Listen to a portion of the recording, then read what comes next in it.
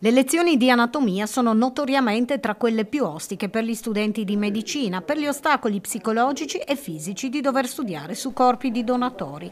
La tecnologia digitale contribuisce a superare questi ostacoli con il tavolo anatomico virtuale, un mega computer che al proprio interno contiene i dati digitalizzati di quattro corpi umani che il docente può rotare, ingrandire o anche sezionare virtualmente, mentre gli studenti seguono la lezione in aula. Lezione, passaggio passaggi anche sezioni che si possono ripetere innumerevoli volte.